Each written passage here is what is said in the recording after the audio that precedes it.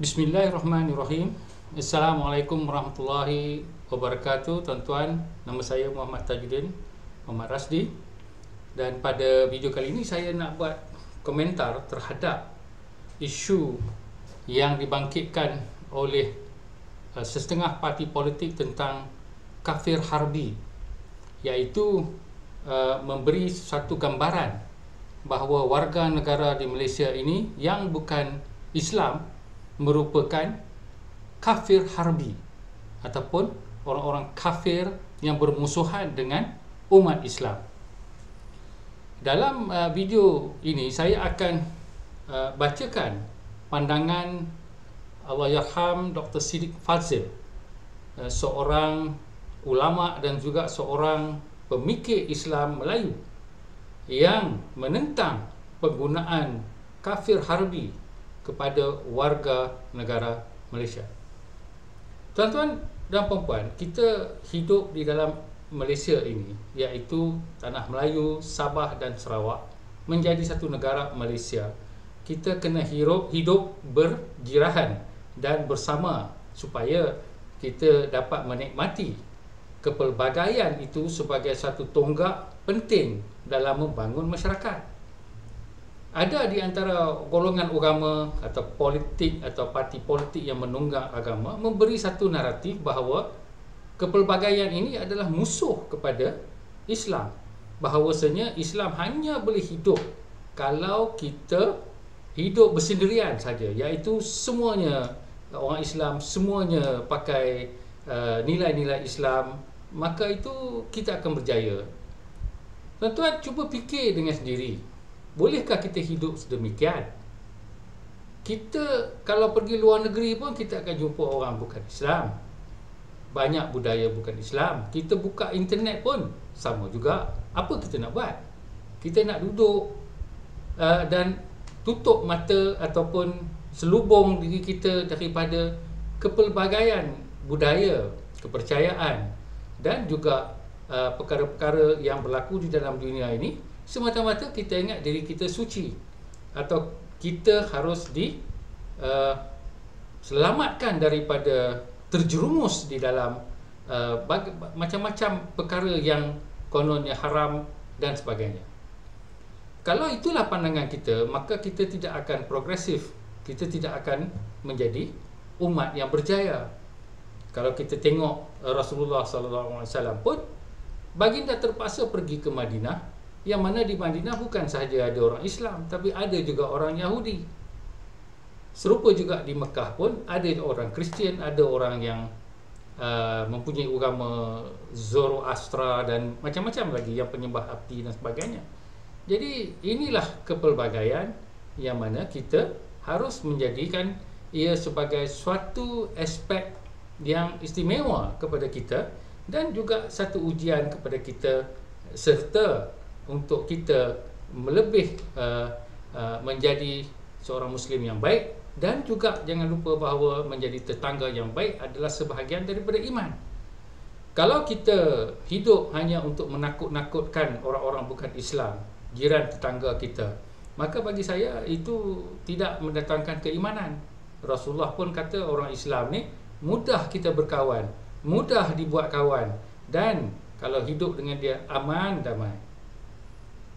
Jadi bagaimana pula isu kafir harbi ini diwar-warkan supaya ia boleh menyatu padukan orang Melayu untuk mengundi satu parti yang menunggang agama, menggunakan agama tetapi sebenarnya merosakkan agama.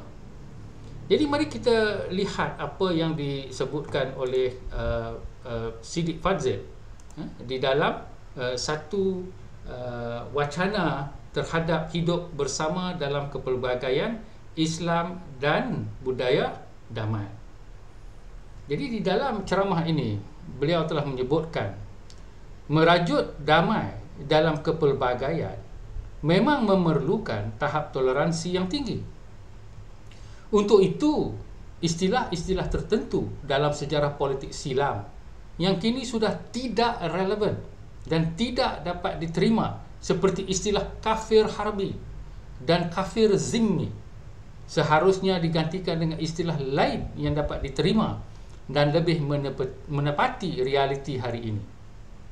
Sesuai dengan semangat kebersamaan istilah yang realistik ialah al-muwatmun atau warga negara, istilah yang inklusif dan meliputi semua, muslim dan bukan muslim.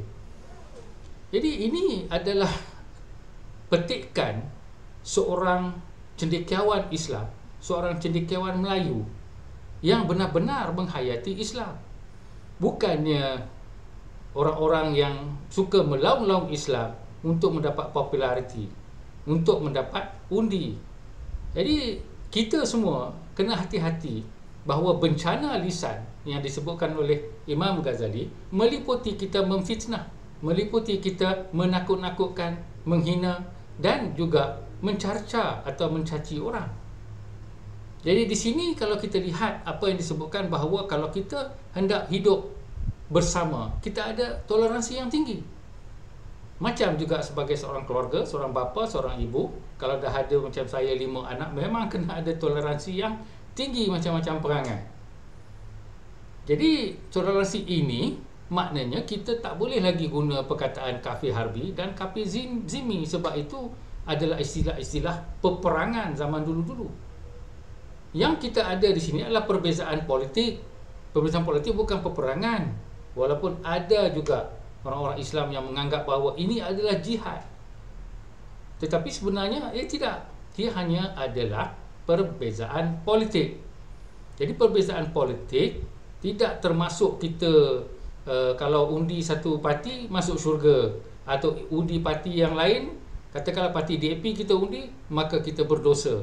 Eh, ini saya rasa tuan-tuan kena belajar eh, yang mana betul dosa yang dicakapkan tu. Dan kalau penjelasan yang sempit yang mengatakan kalau kita undi parti seperti DAP, MCA ha, semata-mata untuk kita menyokong satu gabungan Barisan Nasional atau GPS dan sebagainya maka itu satu dosa maka susahlah kita nak menjadi uh, sebuah negara.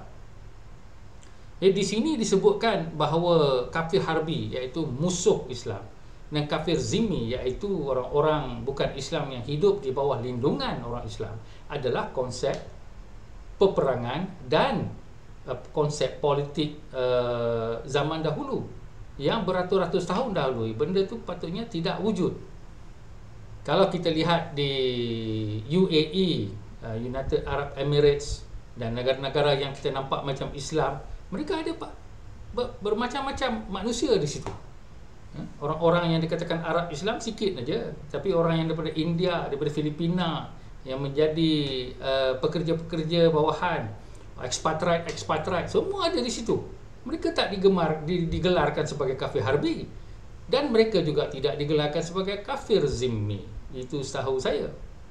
Jadi di sini kita nak kena belajar kepada uh, ilmu yang betul. Jadi jangan kita sambut menyambut kalau sosial media menjerit-jerit kafe harbi kafe harbi kita tak boleh sambut semata-mata kerana kita malas nak merujuk. Di akhirat nanti kita akan disoal seorang-seorang.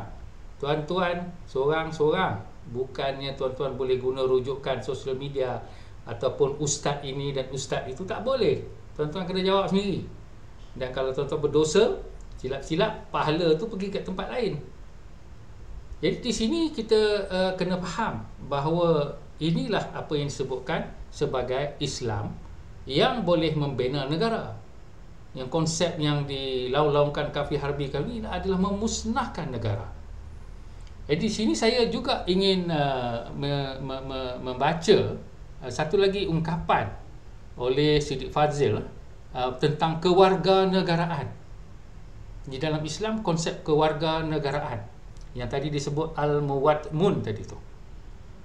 Ha, jadi agama khususnya Islam harus berfungsi dan berperanan membangun budaya damai dan seterusnya menjayakan agenda pembinaan bangsa.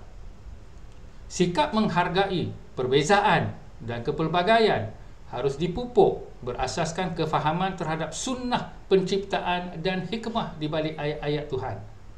Sementara itu, nilai persaudaraan perlu difahami dan diamalkan dalam arti yang luas tidak terbatas hanya dalam lingkaran persaudaraan seagama iaitu kita semua orang Islam lah persaudaraan seagama disebut ukhuwah diniyah tetapi kita masih juga mesti meliputi persaudaraan setanah air ukhuwah wataniyah dan seterusnya persaudaraan kemanusiaan ukhuwah insaniyah. Lihat tuan-tuan ungkapan seorang cendekiawan Melayu yang juga seorang ustaz. Di mana inilah formula apabila kita bersaudara bukan saja antara kita orang Islam tetapi bersaudara juga dengan orang bukan Islam di dalam negara kita yang disebut ukhuwah. Persaudaraan brotherhood wataniyah. Watan itu adalah konsep kenegaraan nation. Dan seterusnya persaudaraan kemanusiaan iaitu kita punya uh, relationship uh, ataupun perkaitan dengan manusia keseluruhannya di dalam bumi ini. Jangan kita main-main untuk jadi orang Melayu Islam untuk bawah tempurung saja. Apa nak jadi dengan kita? Saya sendiri pergi ke Amerika 6 tahun untuk dapatkan Bachelor of Science dalam Architecture dan juga Masters of Architecture. Kemudian 3 tahun di Scotland untuk mendapatkan PhD. Jadi di sini adakah kita boleh hidup tanpa orang lain? Saya uh, juga pernah jumpa doktor gastrik saya doktor orang Cina bukannya orang uh, Islam.